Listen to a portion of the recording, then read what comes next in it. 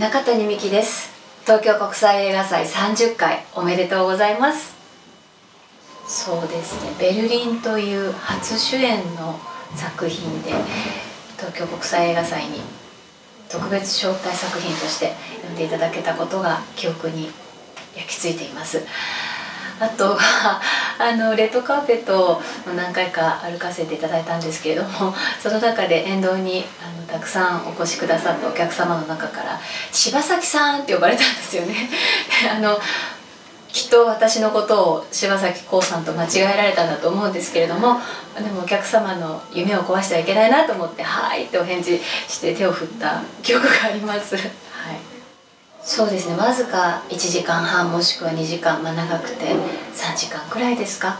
その間にこう日常からのエスケープをもたらしてくれるものでありまたその一方でどこかこう自分自身の人生を代弁してくれるようなそんな気もしますね。まあ束の間の旅というか見たこともない風景や行ったこともない国に、